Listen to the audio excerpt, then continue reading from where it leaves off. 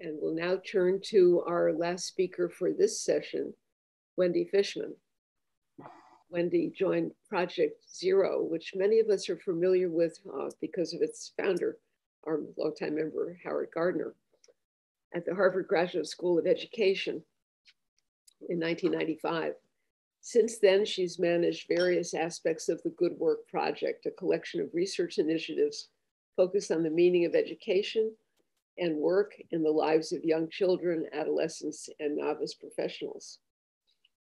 Since 2012, with Howard Gardner, Ms. Fischman has led a large scale national study of higher education and has written about education and human development in numerous scholarly and popular articles. She's the lead author of the book that just came out, The Real World of College What Higher Education Is and What It Can Be. And also a book from 2004, Making Good How Young People Cope with Moral Dilemmas at Work. She's a graduate of Northwestern. And the title of her talk is The Real World of College. Wendy, over to you. Thank you. I'm just going to share my screen.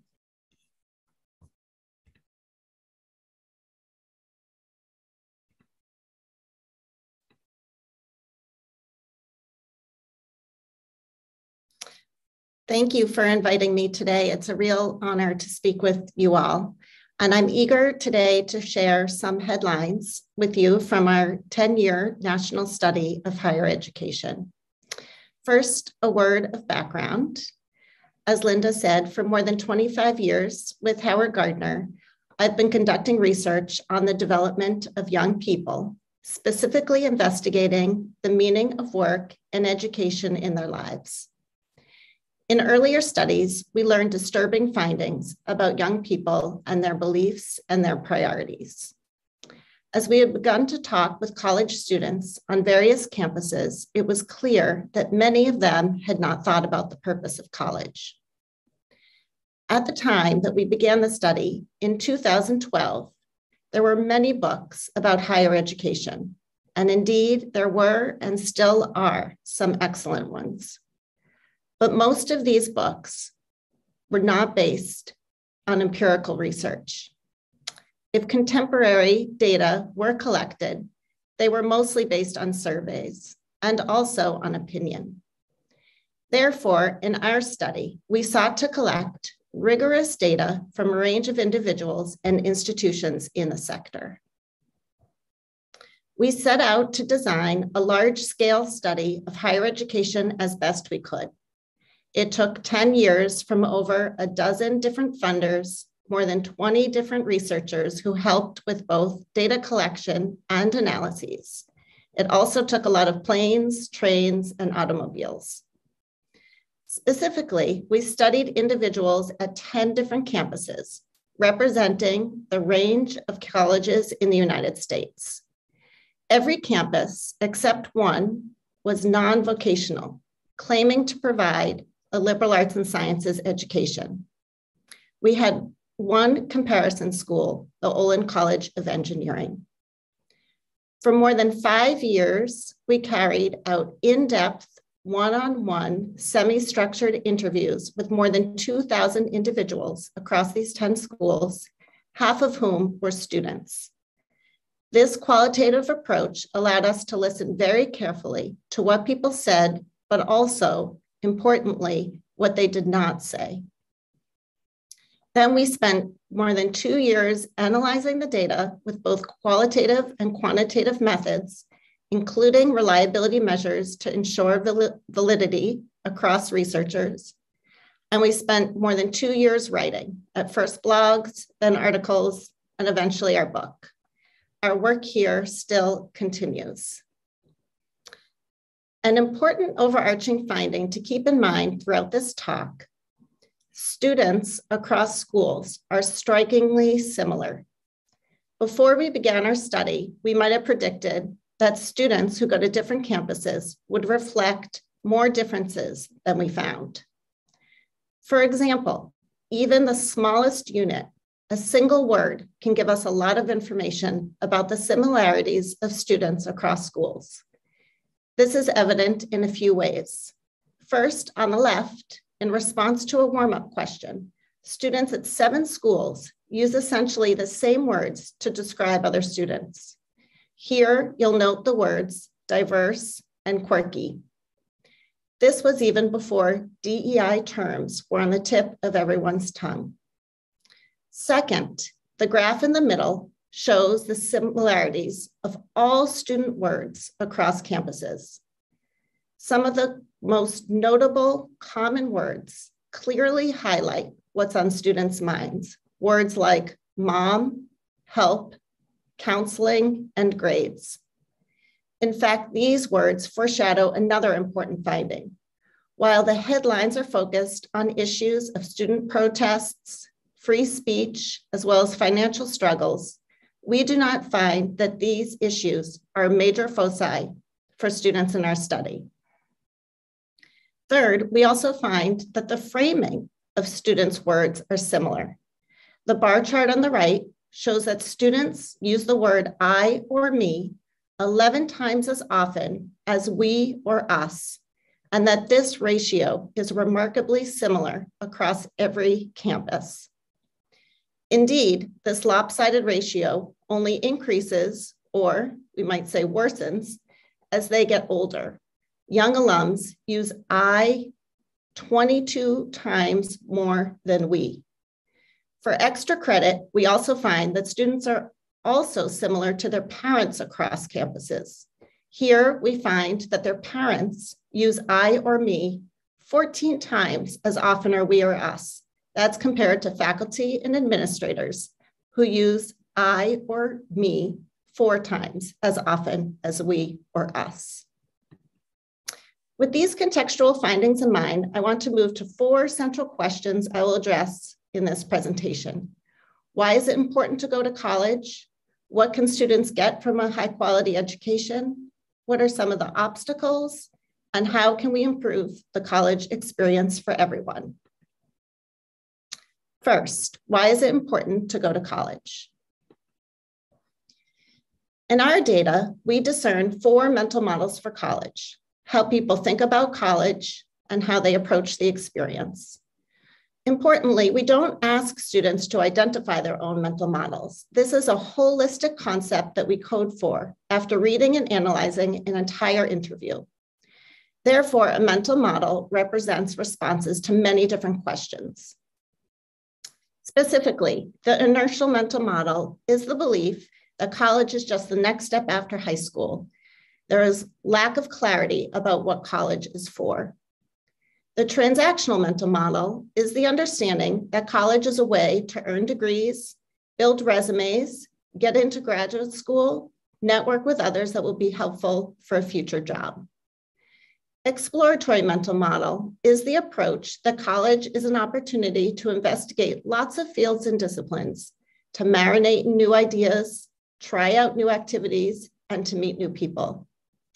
And the transformational mental model is the view that the purpose of college is to reflect who you are as a person, question your own beliefs and values, ponder how you might want to change or grow with the expectation and aspiration that you will develop new ways of thinking about things, including yourself. Here are findings across all students. Nearly half of the students in our study are transactional, fewer are exploratory, and fewer than 20% are transformational. Interestingly, we find few differences across students at different schools, gender, or even students with different majors. Sometimes we find that students at different schools explain purposes for their transactional mental model. For example, students at the less selective schools tell us that they need to focus on the degree and job in order to be able to transform, to become a different person, to change the course of their life. We call this transaction to be transformational. It's a blended model this is very different than the transactional students at the more selective schools who see college as simply the means to get the best job. Though our data are not longitudinal, we do find that in general, over the course of college, the percentage of transactional students stays about the same, whereas the percentage of transformational students does increase. However, this increase is not always consistent across all schools. This is what we find when we compare students to other constituencies. Here, I want to point out the misalignment of faculty and administrators to students. Conversely, the alignment between students and their parents, represented in yellow by the off-campus. For example, 80% of faculty and administrators have a transformational mental model of college, while fewer than 10% of faculty and administrators have a transactional mental model. So second, what can students get from a higher education? While it is difficult and maybe nearly impossible to demonstrate all the effects of college, we believe that we can show intellectual development of the mind over college. We created a measure called Higher Education Capital, HEDCAP for short, which is the ability to attend, analyze, reflect, connect, and communicate on issues of importance and interest. To make this vivid, think about a stranger you might sit next to on a train. After a couple of hours, you begin to talk about a new documentary film. You might ask a simple question like, Did you like it? And then naturally, you will take stock of the ensuing conversation.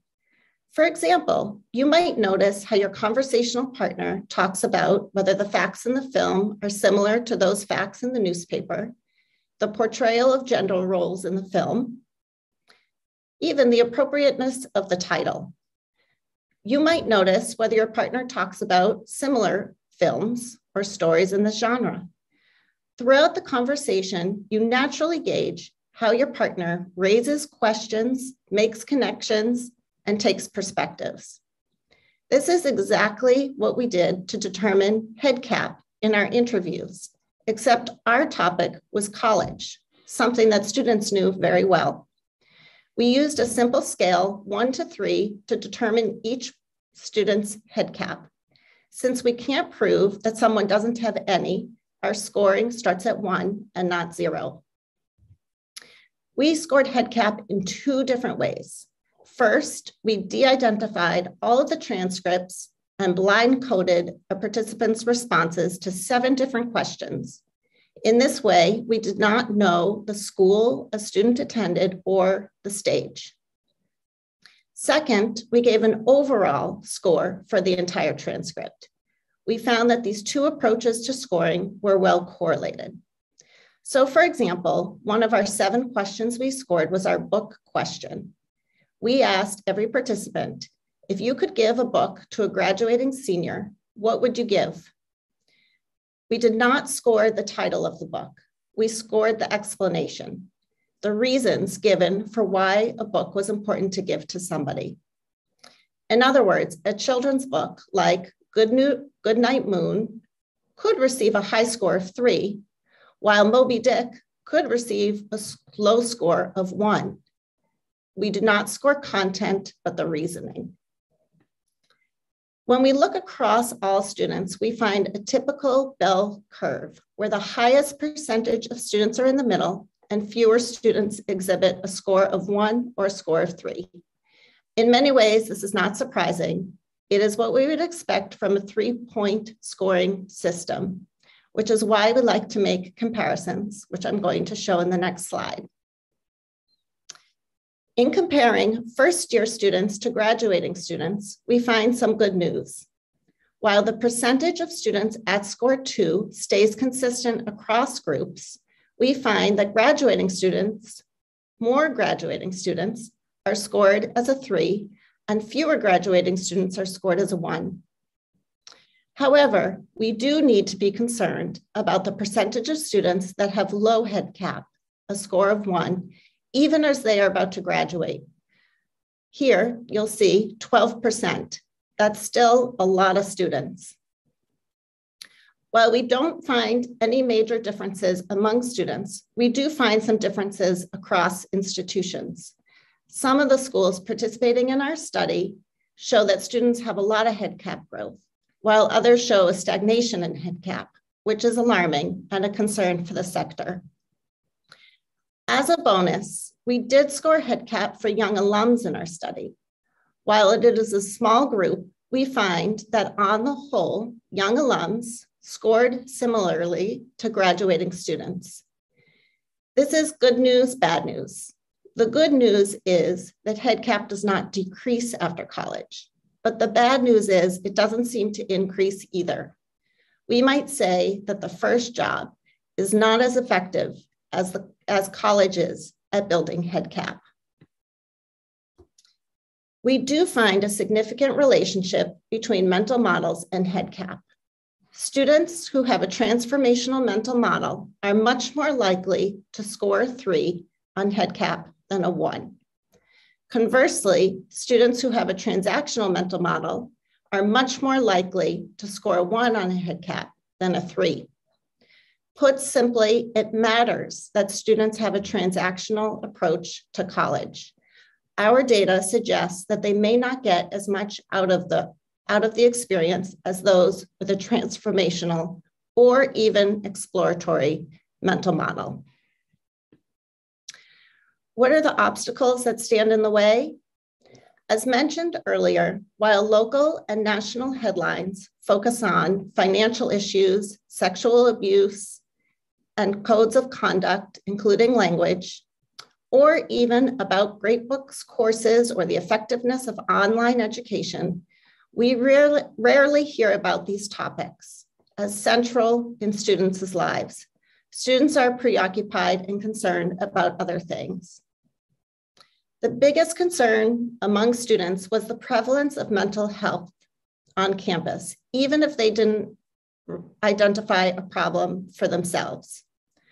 While 20% volunteered their own mental health issues, even though we did not ask, nearly every student talked about the struggles of others on campus. In fact, this was one of the few agreements between students and their faculty and administrators. Nearly every constituency agreed that mental health was the biggest problem, even before the pandemic or the election of 2016. Students also talk about issues of alienation from three different entities they discuss a feeling of no connection to the academic program, to their peers, and to their overall institution. In our scoring, we find that about one third of students express alienation from one or more entities. And at some schools, the percentage is higher than others. We also find that alienation increases between first year students and graduating students. Relatedly, students talk about navigating social tensions on campus, most often pertaining to issues across race or socioeconomic status. Students discuss silos. They note that those who are alike tend to stick together, and they would like help to focus on conversing with and understanding the other. Of course, we know that this does, does seem to be a big part of the social sciences and humanities curricula, but we wonder if students are even aware. And now our thoughts, my thoughts about how we can improve the college experience for everyone. Here, I move from researcher to clinician, first offering a diagnosis of the problem and some recommendations based on our problem. In general, we find mission confusion in higher education. It seems that the sector has lost its way. Most students and parents, and perhaps young alums and trustees, seem unclear about the mission of their institution. To please its customers, schools are trying to do too much. For example, consider the word cloud on this slide. These are the key words in the mission statements of the 10 participating schools in our study. Institutions use these words to attract those that come, promises of learning and experiences, which focus on things like leadership, citizenship, innovation, character, creativity, the arts. it might be okay for the sector of education to have a range of goals. And of course, these are admirable goals, but a single college or university can't be all things to all people. Indeed, intellectual development gets lost in the sea of words. Therefore, we believe that non vocational schools need to get back to its primary focus of teaching and learning, focused on student growth and transformation. If a school says it's liberal arts, it needs to deliver on that promise. Specifically, we recommend that institutions develop a single mission about the importance of teaching and learning and sculpt programs, projects, and centers that focus on this teaching and learning and reduce or drop those that don't speak to this mission. We need to overtly and directly onboard students and perhaps their parents to this message from their first visit to campus and to continue the onboarding process until the day of graduation. If there is a secondary mission, like ethics or religion, that mission needs to be carefully intertwined into the curriculum so that it's not simply seen as something extra or just one of many options. In closing, with an eye toward discussion and questions, I wanted to bring you back to the book question that I mentioned earlier, which you might be curious about.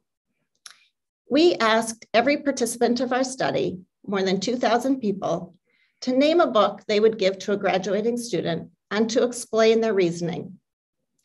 I'd like to give you the same opportunity. If you feel inclined, you can write the title in the chat of a book that you might recommend to a graduating senior, or share them with me at a later point. I'd be happy to compile them and filter them back to you. As you are writing or thinking to yourself, I'm going to share what we found among students. I'd like you to think about what the results tell us about if and how college is making a difference in the intellectual lives of students. Here are the top 10 books. In general, the findings to this question were both surprising and disappointing to us. Three important headlines. First, 20% of students couldn't think of a book. Many told us that this question put them on the spot. Some indicated that they don't read books. Students, second, students more often name books that are typical of high school reading than of college reading. And third, we find that the largest percentage of students name books that focus on self help and personal development. The bottom line for us here is that very few students demonstrated that college made a difference in the books they would recommend to others. While this was meant to be a fun question, we do take reading seriously and believe that it's a promissory note. It helps to develop higher education capital, which we believe should be the single purpose of higher education. Oops. Sorry. Oh, I ended my slides. I'm going to um, just share them again so you can see. I don't know if people can see that. Oops.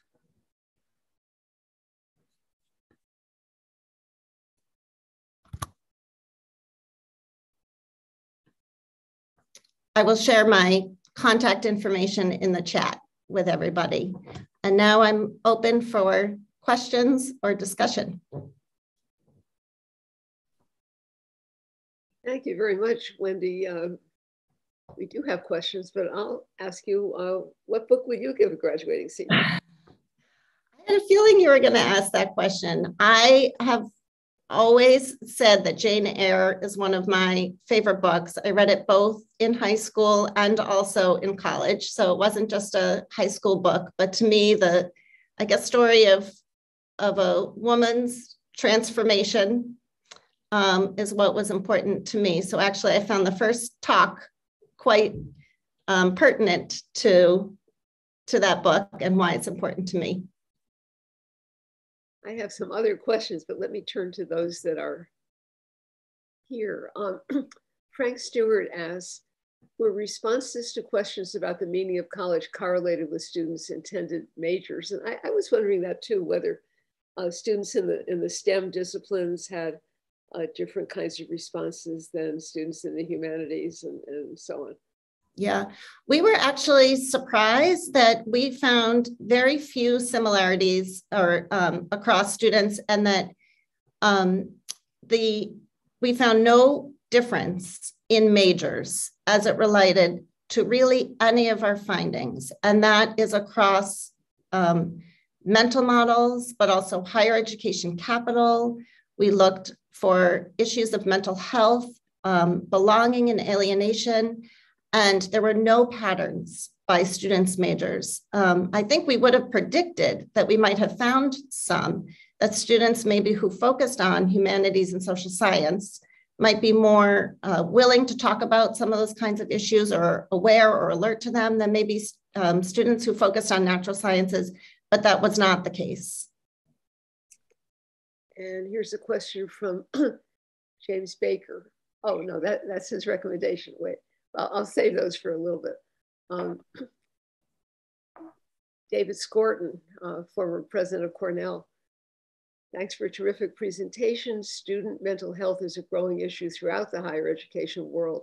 Did you identify interventions that should be pursued? For instance, reducing stigma through a variety of mechanisms, supplying different approaches to counseling and others. Yeah, this is an excellent question. A few things about mental health. First, it was not something that we predicted we would have found when we began the study in 2012 for sure. It's it's more in the headlines I know now, especially because of the pandemic, but it was prevalent on campuses before. It does seem the case that the more resources that are poured into campuses, the more students come.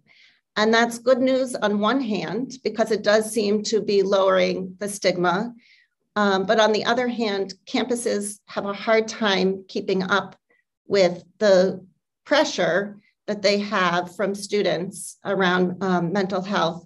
Some of the promising interventions um, that we found, and we're not clinicians, and this is not our area of expertise, but some of the promising interventions that we saw were on some campuses like California State Northridge, which had students involved um, in becoming mental health ambassadors on campus and served uh, for students who maybe didn't need clinical help but needed somebody to talk to about some stress and anxiety.